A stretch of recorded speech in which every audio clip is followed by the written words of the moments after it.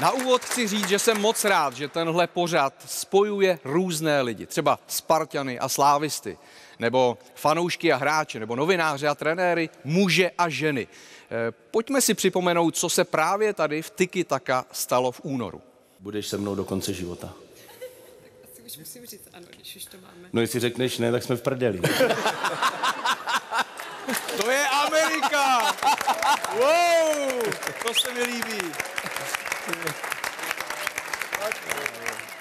Tak, říká se do roka a do dne. No a přátelé, Petr Švancara to stihl za půl roku a to nám to ještě nabourala korona. Nebýt toho, tak eh, by to stihl ještě dříve. My přejeme novomanželům všechno nejlepší a tím to klape. Ta svatba se odehrála u Brněnské přehrady v neděli.